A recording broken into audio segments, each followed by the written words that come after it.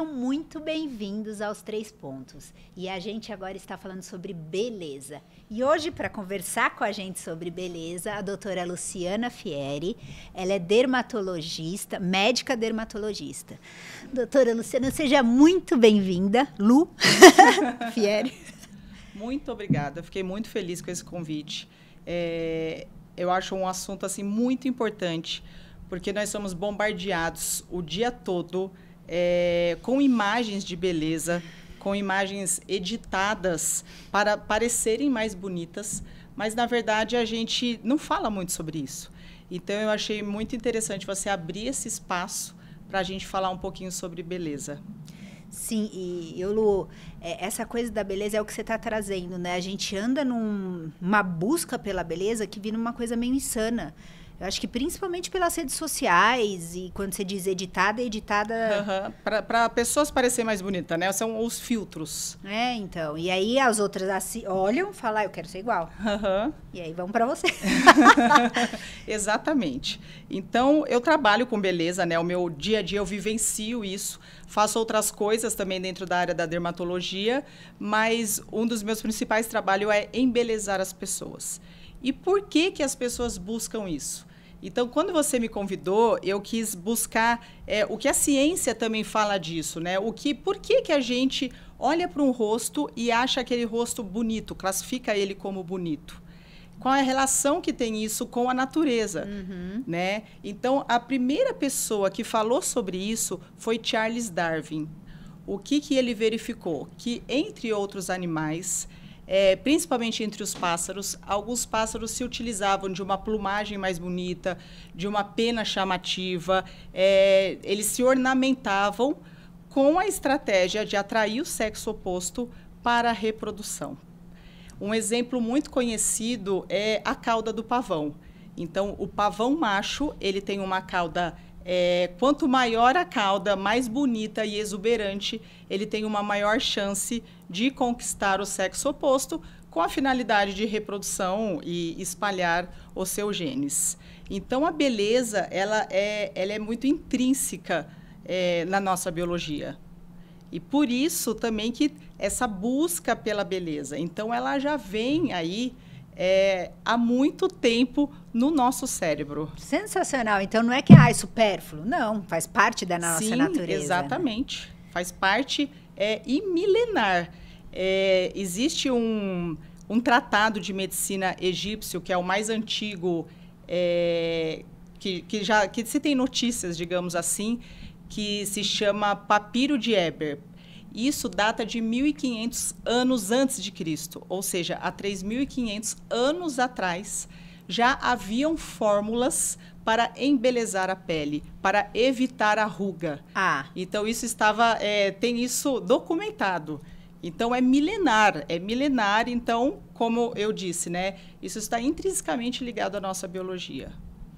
Uau, eu não tinha mínima essa noção. E aí, quando você trouxe o pavão, é verdade, né? A, a reprodução dos bichos é muito. Sim, tem, tem ligação. o canto do pássaro, enfim. Exato. E aí é, é a parte comportamental. É, aí, o, o que, que eu fui buscar também? Existe um estudo muito interessante que a gente fala muito de padrão de beleza, tá? Eu vou, eu vou chegar um pouquinho uhum. nesse padrão de beleza, mas o que acontece? É, já fizeram pesquisas com diferentes pessoas de diferentes raças, etnias, costumes, diferentes localizações, e eles tendem a concordar quando uma pessoa é bela. Existe o padrão de beleza, porém também existe é, esse critério, esse julgamento do que é belo, é, como se toda a população estivesse utilizando desse mesmo julgamento de beleza. Desse mesmo óculos, né? Exato, perfeito. E Exatamente. aí, assim, porque assim, Lu, quando você traz isso, é, porque para mim era assim, padrão, e era meio uma coisa que ah, agora é moda, padrão, uhum. o, a, ser bonito, ser magrela, muito magra. Uhum. Só que lá atrás, e até a gente falou isso na outra entrevista, já foi padrão de beleza ser mais gordinha. Uhum. Então, assim, como é que é isso? Já que a gente tem um olhar que todo mundo julga o que é belo do mesmo jeito? É por épocas? Então, é, o que, que acontece? Também a ciência tentou já buscar a fórmula mágica da beleza. E uma dessas fórmulas mágicas se fala muito da simetria. Então, rostos simétricos, eles tendem a ser é, avaliados como mais bonitos. E eu falei que eu ia comentar sobre o padrão de beleza. Então, aquele, é, aquela imagem que a gente está acostumada a ver no nosso dia a dia, ou seja, a média daquela face, a gente tende a achar mais bonita. Então, uma fase muito atípica, uma face muito é, diferente, ela tende a não ser é, classificada como bonita. Então, é aí que entram os padrões de beleza. Hum, entendi. É o que é mais comum.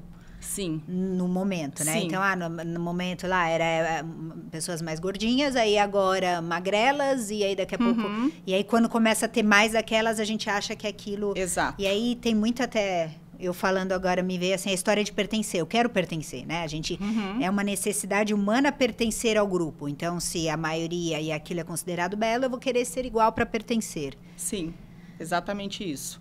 E ali, aí além da beleza, essa essa querer pertencer a um grupo, aí acaba entrando no segundo ponto que eu queria falar, é que é a beleza sozinha. Então, é, existe a personalidade. Então, pessoas simpáticas, elas tendem a ser classificadas como mais bonitas. Então, é, não é só que ela é mais atraente, ela também vai ser classificada como mais bonita. Então, se a gente pegar outros atributos, é, simpatia, gentileza, empatia, inteligência, então tudo isso também muda o nosso critério em relação à beleza. Então, quando a gente fala também do pertencimento, porque a gente quer é, fazer parte daquele grupo, também vem aquelas nossas atri atribuições, é, como é que eu posso dizer, sociais, pra... que não somente aquela beleza estática. Perfeito. E aí, quando você traz isso, eu estava pensando assim, é super comum, por exemplo, ah, a gente olha uma pessoa, acha bonita.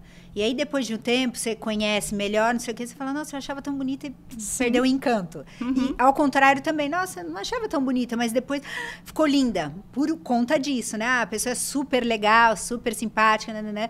E aí é meio que a o interno, o de dentro, né, fica mais forte do que simplesmente a aparência. Exatamente. E a gente enxerga aquela aparência de outro jeito. E a gente vai enxergar de fato mais bela. Não é só uma atração. Ela se torna mais bela realmente. E aí, então, nesse segundo ponto, a gente pode colocar assim, que é, o interno importa, importa mais até para a pessoa ser bela do que simplesmente a aparência. Sim. Inclusive, teve é, estudo que colocou uma face neutra é, e uma face sorrindo por mais que aquela face numa posição neutra fosse mais bonita, aquela face sorrindo, que, que gera simpatia, ela era aquela que era considerada mais bonita mais atrativa. Perfeito. E é isso, uhum. né? E a gente Sim. se atrai com o quê?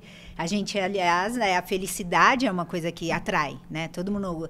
Você quer ficar perto de alguém mais feliz ou mais triste? Claro que a gente quer sempre sim, saber, né? Sim.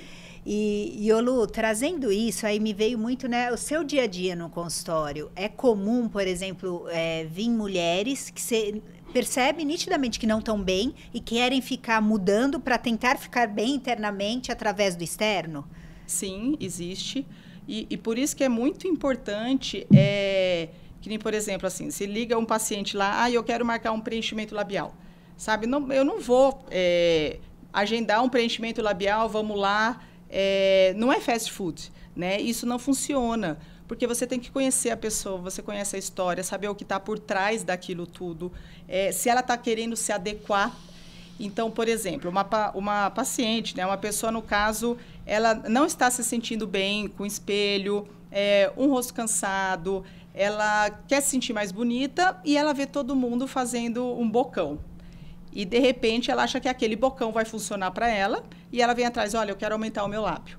Só que durante a conversa, né, a gente vai descobrindo outras coisas e, e eu, como profissional da estética, é, eu consigo visualizar melhor, né? Eu, eu estudei para isso. Uhum. Então, conforme a gente vai conversando e vai apontando outras áreas, olha, e o que você acha disso aqui? A pessoa, nossa, isso também me incomoda.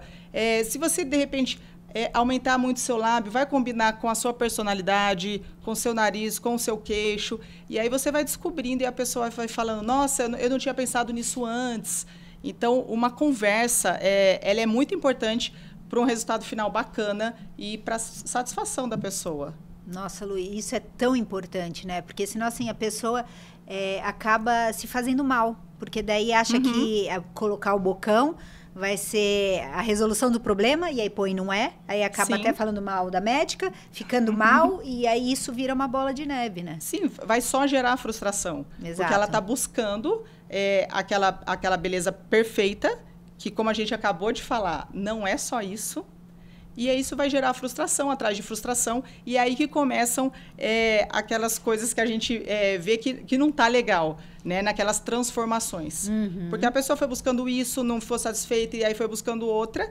E aí vem também é, uma linha muito tênue do profissional da estética entre estar trabalhando em prol do, do seu paciente, do indivíduo, é, e também tem o ganho financeiro. Então é uma linha muito tênue que o profissional ali ele tem que ter uma ética, ele tem que saber dizer não. Eu acho que o que diferencia muito o profissional da estética é de saber dizer não. Nossa, Lu, isso é. E a gente vê o quanto. E, e assim, a gente vê na rua, né? Uhum. A gente, como essa pessoa está transformada. E, e, é isso, a gente olha para a cara da pessoa, você vê que não está feliz. Sim. E o quanto de esforço tem ali de se transformar, se transformar. Sim. E às vezes eu penso, falo, poxa, o profissional precisa ajudar, né? Uhum. De olha, não adianta eu colocar mais uma coisa em você, né? Olha um pouquinho o que está te fazendo, que é essa conversa que sim, você trouxe. Sim. É muito fundamental, né? E, e aí você engatou aí no terceiro ponto, que é qual? Como que aquela pessoa é, se enxerga no espelho. Né? Aí vai entrar é, a autoestima, o autocuidado, a confiança e também envolve maturidade. Então, quando a gente também olha para uma pessoa e você vê que ela está bem dentro da própria pele, a gente se sente atraída pelaquela pessoa. A gente, como você comentou, quer estar tá perto dessa pessoa. Essa pessoa é uma pessoa agradável, é uma pessoa forte. Então, tudo isso é, conta. Então, não é só aquela beleza estática. Né? Tem todo um envolvimento para a gente chamar algo de belo, para a gente classificar algo como belo. É muito maior, né? Sim. É, e às vezes a gente anda numa cultura que é muito a beleza a gente às vezes acha que é, é, é como você traz o estática, né? Uhum. E todo mundo na busca de, dessa beleza, dessa beleza. Ah, é moda colocar peito, é moda colocar boca, é moda não sei o que, moda... e nunca não tem fim né? Porque sim. enquanto a gente não olhar para a gente e perceber que é, é uma integração de várias coisas que vai deixar a pessoa bela, uhum. a gente começa a se perceber, né? Sempre tem o um autoconhecimento, não tem como fugir Exato, disso. Exato, exatamente. Autoconhecimento, maturidade. Maturidade. E, e fazer isso que a gente está fazendo aqui, né? Conversar sobre isso. E isso muda total, uhum. né? Porque às vezes assim, eu sem conhecimento vejo falar, ah, quero botox. E aí eu vou em você e falo, não, Li, foi até não é botox, uhum. precisa fazer antes um processo e tal. Então assim, ter esse cuidado e não simplesmente pelo lado financeiro, é ter o cuidado com sim, o paciente. Sim, sim. Né? Cuidar da pessoa, né? Eu acho que isso é fundamental. É. Sensacional. Lu, é, aqui a gente sempre pede para a pessoa indicar um livro, não necessariamente né, a ver com o que a gente está conversando, mas que fez diferença na sua vida e que você gostaria de compartilhar com quem está nos assistindo. Olha, eu gosto muito de filosofia. E quando eu tinha em torno de 22 anos, eu conheci Nietzsche Uau. através de um livro é, que se chama Humano, Demasiado Humano. E, e, assim, ele, ele tem muitas ideias, ele, ele é muito polêmico e, e, ele levanta muitas ideias que nos faz pensar. E assim, eu achei aquilo sensacional.